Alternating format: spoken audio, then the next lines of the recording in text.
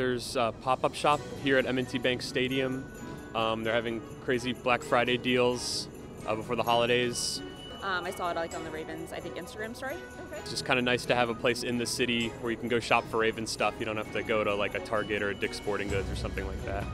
Um, shopping for some gifts for myself and other people, and uh, yeah, just checking out what's going on. Oh yeah, I got my my nephew's been begging for a game used jersey, so I got him a, a game used uh, Hill jersey. Um, so I'm really excited to give that to him for Christmas. Um, I was saying some baby stuff earlier, potentially. I'm due near Christmas, so we need to make her a Ravens fan. But um, yeah, whatever inspires me, and maybe some other cute things along the way.